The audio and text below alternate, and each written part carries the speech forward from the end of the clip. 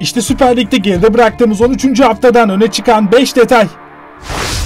Ligde şu ana kadar kalesinde 10 gol gören Fenerbahçe, 2004-2005 sezonundan bu yana ilk 13 haftada en az gol yediği sezonu yaşıyor.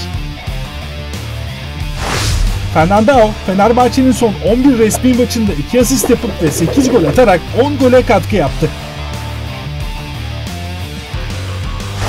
Trabzonspor 1997 yılından bu yana ligde Fenerbahçe'yi deplasmanda tam 19 maçtır yenemiyor.